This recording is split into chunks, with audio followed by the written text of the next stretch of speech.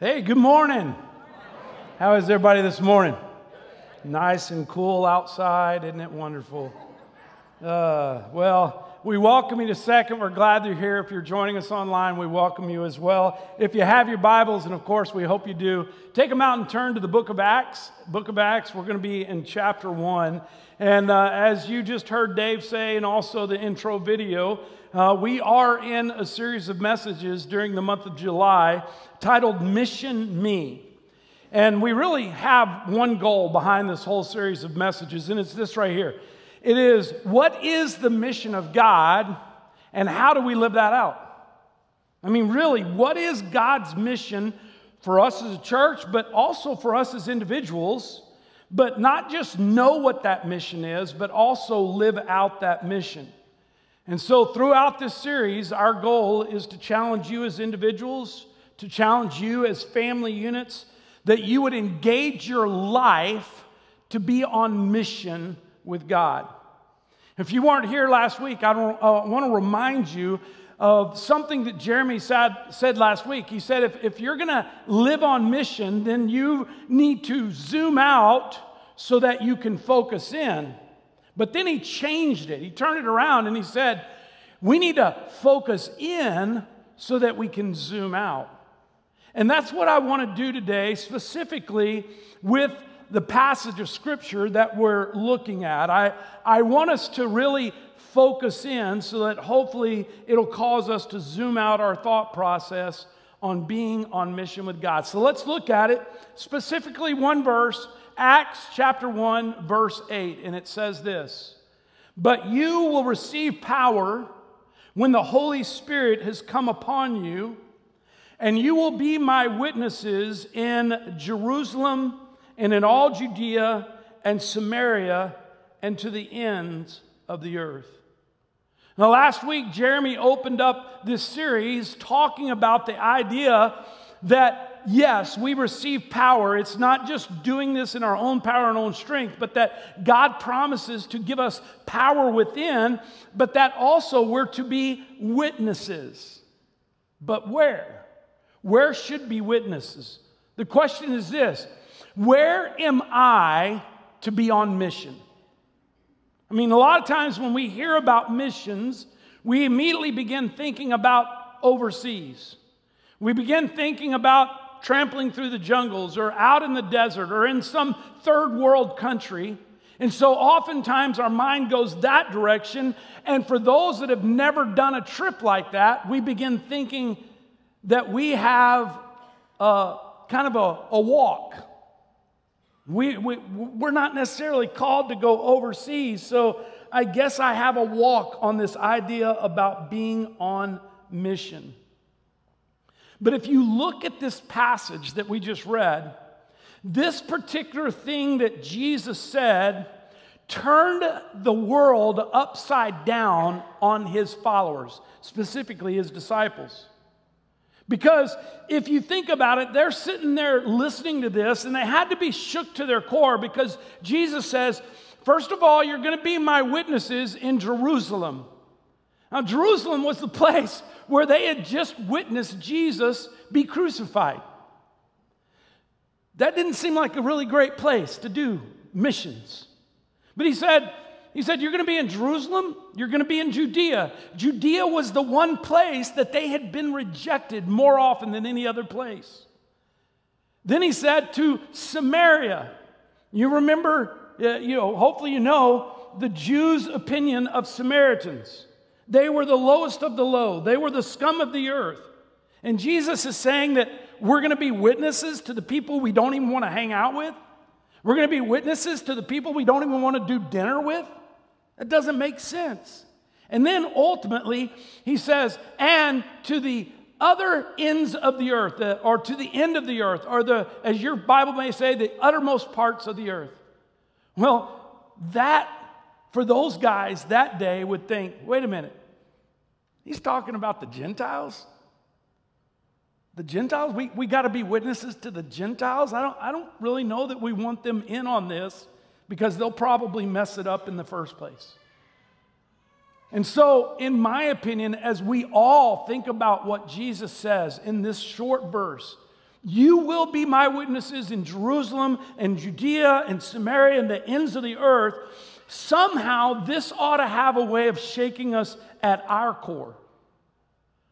But today, I want to focus on one location that Jesus talked about, and that location is Jerusalem. Now, again, some of you are thinking, man, I've never been to the Holy Land. I don't have any plans on going to the Holy Land. I would love to go to the Holy Land, but I don't know if I would ever want to go over there. It's so unstable. I, I, so I guess I don't have to worry about Jerusalem. Well, I think you've probably heard this before. I know I have.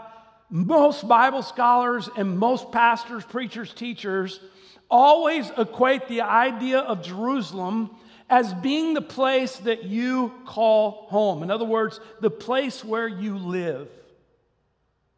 So if Jesus were using present day language, talking to us today, maybe his words might sound like this.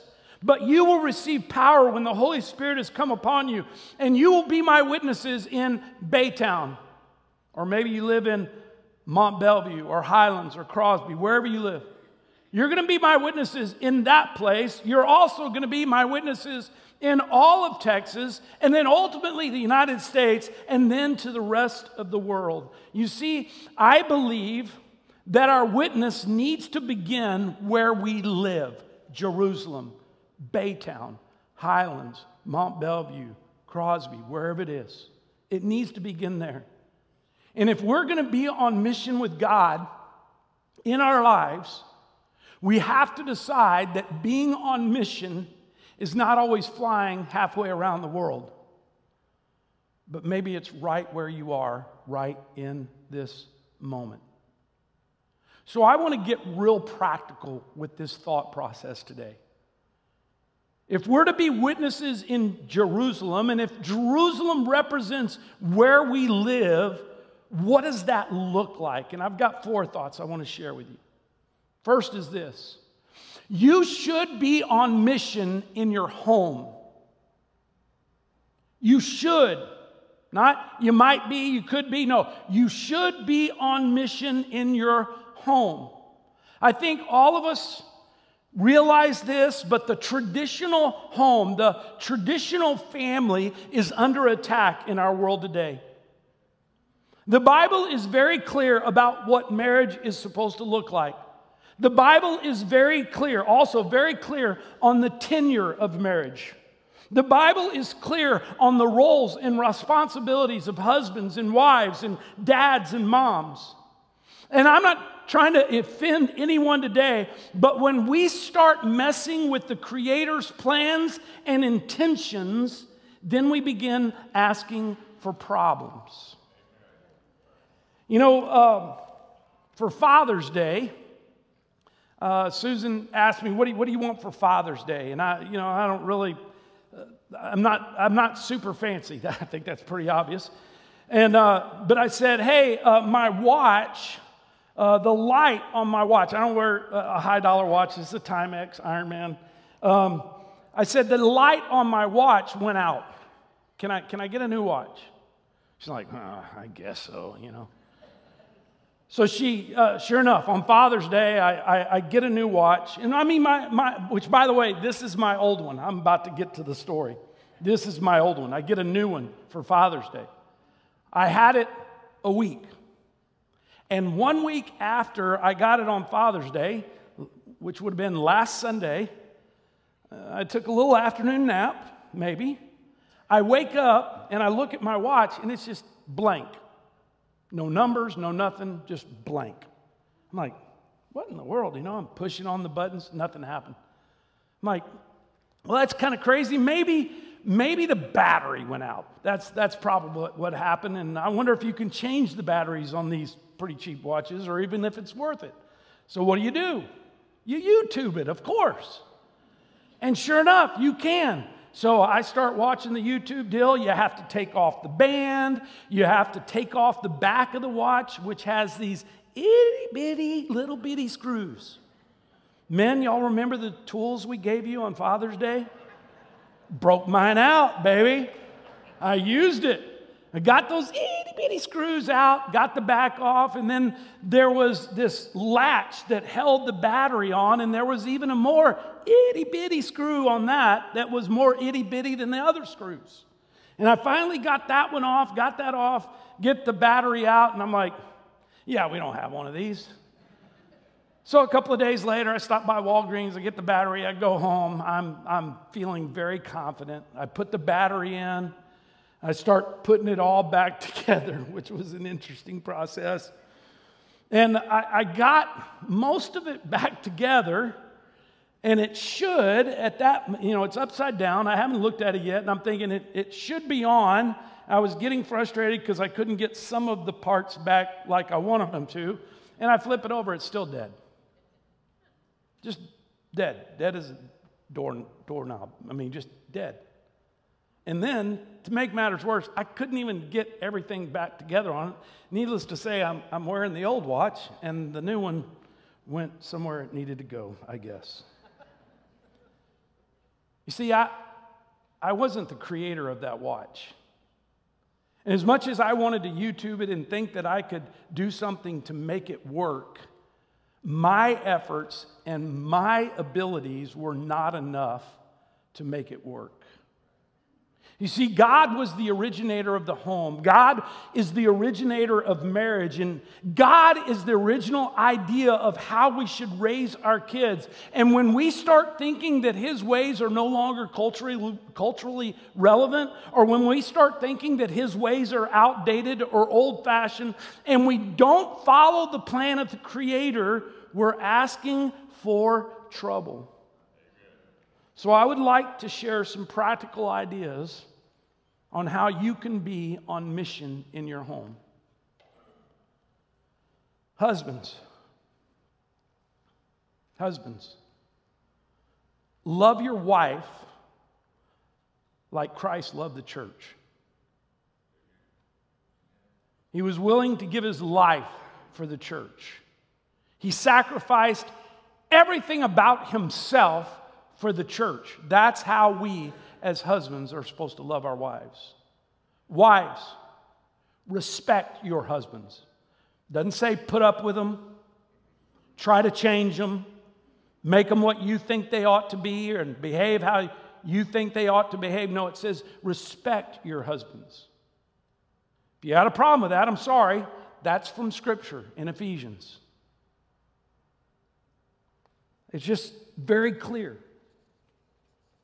I realize that there are some things that happen within a marriage relationship that are sometimes out of our control. And I realize that sometimes people do things that destroy trust and commitment. But if we're going to be on mission with it in our home, it begins with us as husbands and wives fostering, nurturing, and growing that relationship. Growing it. And for those of you who are not married, Sorry, you don't get a walk today. Even though you may not have a spouse that you're doing life with, you can still be very intentional with your home and the relationships that you have surrounding that home, whatever relationships they may be. And I remind you, I remind you, sometimes I know this is difficult, and I realize I've never walked down that path, but you know, the Bible actually affirms people in their singleness and that it's actually a blessing from God in, in the potential of ministry.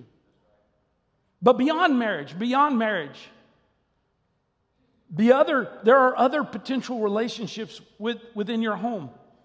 You may or may not have children. You may or may not have extended family living with you. You may or may not have roommates or renters, or the list could go on and on. But my encouragement to you is that you need to be intentional in those relationships. You can be on mission with God within your own home.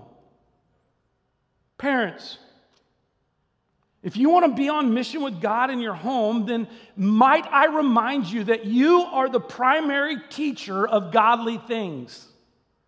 It's not the church's responsibility to make your kids godly, it's yours. We're just your support group. We're just your, hey man, I need some help or I need some encouragement or whatever, but you are the one that ought to be leading out in your home. Teaching your children, instructing them in the ways of the Lord. I hope, I hope, at a minimum, I hope if you have kids in your home that you're praying with them daily. And I don't mean over the meal, I mean actually praying with them. I shared with you, you know, Susan and I are not perfect by any means. But if there's one thing that we've always been consistent on is every night when we put our kids in bed, we, we lean over them and pray over them. We pray that God will change their hearts and their lives, that Jesus would pursue them, and that they would ultimately pursue Jesus with their lives. And it's, it's really gotten to a point where now, I'll just be honest with you, some nights we sit on a bed. I know you never this way, but I'll, I'll confess. I'm so frustrated with them. I want to beat them before I put them in bed. And then I get them in bed and I storm down the stairs and I hear, You didn't pray with me. Oh, I'll come pray with you. God, pour out judgment. No, I don't do, I don't do that. I hope maybe you're having some kind of family devo with your kids. You know, we used, uh, you, have heard me talk, we go to family camp every year. We've been doing it for 25, 26 years. And every morning we, uh, we have a family devo that they provide for us. And the, guy, men in the room, can I just talk to you? They challenge all the men that are there, dads that are there. Some may go to church, some may not go to church. And they, they say to them, you know what? You're the father. You ought to be leading this time. Guys, be on mission in your home. There's way too many tools out there. You go, I, I, don't, I don't know what to do. Get, get, get on Amazon and type in family devotional books, kids' devotional books, and you will see so much stuff that wouldn't cost you hardly anything. And all you got to do is read it to them. Be on mission, be intentional in that. Can I remind you?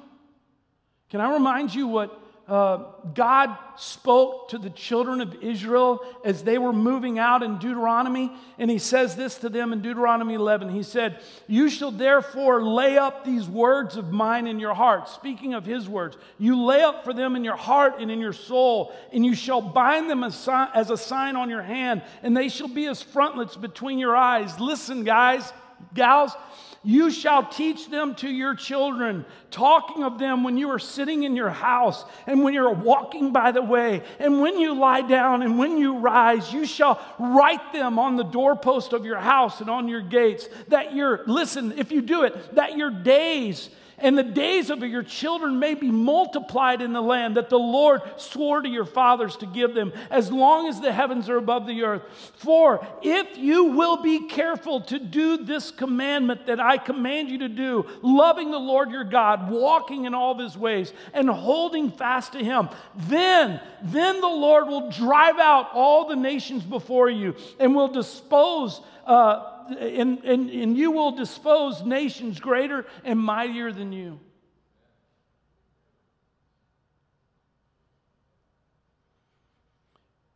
Maybe your home is in turmoil right now. And I just wonder where is God in that? Or have you allowed Him to intervene in that? What do your kids know about your walk with God? How are you teaching them in that? Do they believe that you believe a relationship with God is one of the most important things that they could ever have?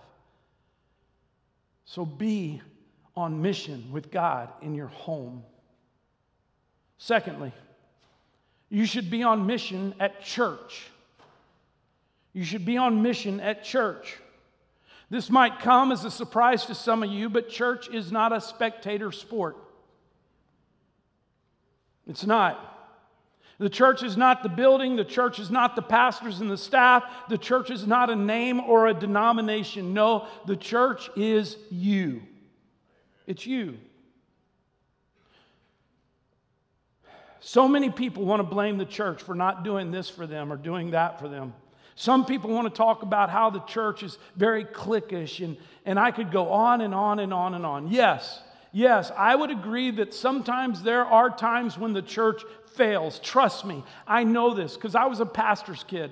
I sat in plenty of business meetings where I listened to people rip my dad up one side and down the other and talk about how horrible he was. So, yes, I know the church can be hurtful. There is no perfect church. No perfect church. This place is not perfect. Why? Because it's full of imperfect people. Which, by the way, you as the complainer, if you are, you're imperfect as well. But, folks, I think you will get out of church as much as you are willing to put into it. We talk about volunteering up here all the time. I honestly don't know how many volunteers it takes every Sunday for us to have these two services every Sunday. But it takes a lot of volunteers. Volunteers in our kids' area, volunteers in our youth area, volunteers in this room, volunteers out on the parking lot. I mean, it takes a ton of volunteers every Sunday for us to be able to do church. But I do know this the number of volunteers it takes is only a fraction of the number that's in this room right now. And so, we shouldn't be calling for volunteers. We shouldn't be asking for volunteers. Why? We're the church. We, we are the church. I, I think you know, and I believe this. It doesn't make you more spiritual just to come to church. It doesn't make you more spiritual to get up off the couch at home and actually come back to church. But church attendance does impact your life personally. It impacts the lives of your family around you. What kind of example are you setting? And then, I don't know if you realize this, but your church attendance impacts other people that aren't even part of your family in ways that you don't even know about. I think that's why there's a challenge in Hebrews that says don't, don't forsake that time together. Make it a priority. Be on mission in your church by being there and volunteering and serving and making the church what it needs to be. You need the church, your family needs the church, and the church needs you. Third thing, what's another part of Jerusalem? You should be on mission at work. You should be on mission at work. Now, I realize this is a tough one because I work at a church. So you go, you don't, you don't even know, Tommy, and you're, you're right. I, I probably, I don't know everything that you deal with within a secular work society. I fully understand that there are some workplaces that frown on any kind of religious practices or talking about religious things. But I also realize that sometimes you even work in uh, a situation where if you start any kind of spiritual conversation, man, uh, the pot gets stirred and the voices get loud and people start talking harsh. So you might need to be creative on how you be on mission within your workplace. Let me tell you an easy place to start being on mission in your workplace it's the easiest thing you can do. Show up on time, do your work. Don't be that one, right? Don't be that one. Because I promise you, if you are that one, and you know what I'm talking about the lazy one, the late one, the one that always has excuses for never accomplishing what they're supposed to be doing, I, I promise you, if you're that one and everybody in there knows you're some kind of church person, they're labeling you and they're labeling everybody else in this room. So just begin. Begin by showing up on time. Begin by doing your work and being the best employee you can be. But I also challenge you because I know there are some in this room that have done this in a secular workplace. Begin a prayer time with some people. Maybe even a Bible study. Uh, I'll never forget several years ago when we were challenging people to be in, on mission and, and we were talking specifically about our fall spiritual journey. And we even said, maybe you ought to think about starting a small group in your workplace. And there was a guy in our church named Matt Riffle. And Matt took that challenge and he went to work and he went to his boss and he said, Hey, I don't know if this is feasible or if I can do this, but can I use the break room to have a, a small group Bible study? We won't take more than the lunch hour. I'll just invite people. They don't have to come, or if they want to come, they can come. And he presented to his boss. Boss like, yeah, sure, whatever. And that year, Matt filled up the break room or conference room. I forget exactly where it was. And it grew so much that over, over the years, he kept having to add more groups and more groups at the same place. Why? Because he had the guts to just ask. He had the guts to step out and be on mission within his workplace. Think of a creative way that you can be on mission at work. And then finally, and there's a lot more I could share, but finally, you should be on mission in your community. In your community. You know, we try and provide opportunities for you to serve right here in Baytown. You heard it a moment ago, I'm going to say it again. We've got a big deal coming up this Wednesday. And we need your help. Every, every, every second Tuesday, we typically, every second Wednesday, sorry, not Tuesday, every second Wednesday, we, we go to the Bay Terrace apartments and we, we pass out food. Do it, that's regular, every, every month. But this, this week, we're going on Wednesday night and we're going to pass out the food, which normally takes about 20 to 25 volunteers. But then we're going above and beyond. We're doing a block party. And there, there are going to be kids in this apartment complex that have never been a part of something like that. We need help with cooking hot dogs. We need help with people just standing at a bouncy house, making sure no one's killing one another, right? Playing games with kids. It, it's not all night long, it's an hour, hour and a half, two hours, I think, at the most. There's an opportunity right there for you to be on mission right here in your community. I think you probably saw the announcement. We're about to do a, a, a one day partnership with Habitat for Humanity. I'm not a builder. A lot of that habitat stuff is cleanup, picking stuff up from the job site where the real workers do the work. We have people that serve in the Pregnancy Resource Center. We have people who serve with the Bay Area Homeless Shelter. And we've got a really cool opportunity coming up next month, but I can't tell you what it is yet. But a very simple opportunity next month that everybody could be involved in. And I hope you join in. So when we think about this idea of Jerusalem being where we live, can I just show you something? This is my Jerusalem, right here. And this is also my Jerusalem. Next one. And then this is also my Jerusalem. And then this is my Jerusalem as well.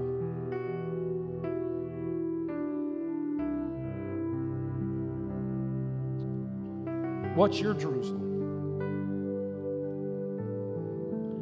You have been given power and you've been given a challenge. Your mission, if you choose to accept it, is Jerusalem. God, I thank you for today. I thank you for the chance to be in your word. And God, uh,